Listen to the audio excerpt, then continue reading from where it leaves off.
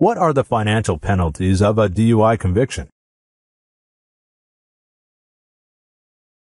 Attorney Aaron Bortel says, Someone who was convicted of a DUI would have to face a number of different fines, penalties, and other such things, and even if they did not get convicted, they would still have to deal with a wide range of attorney's fees.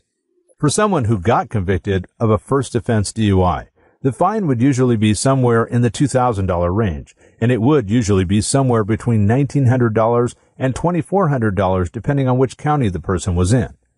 They would also be looking at attending a DUI school, which would cost around $700 if it was a three-month DUI school. The person would also have to deal with their insurance going up, although how much it increased would depend on the person's driving record, how many points they had, their driving history, types of cars they drove, and a lot of other things. A DUI conviction could also affect things like life insurance, although it would probably not affect health insurance. These are just some of the potential costs the person could be hit with immediately and in the near future after getting convicted of a DUI. There would also be the cost of losing a job, a promotion, a potential new job, their career, or their board certification to be a doctor or a nurse or any other type of profession.